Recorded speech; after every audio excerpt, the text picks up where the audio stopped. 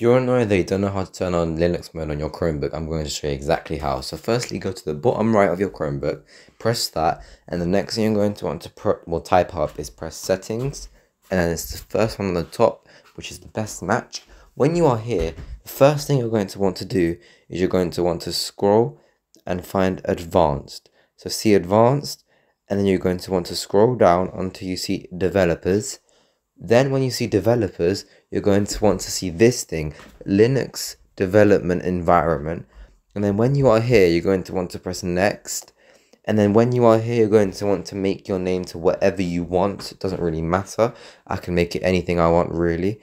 And just press install after. And then just make sure it's the recommended uh, thing. You don't really have to do anything.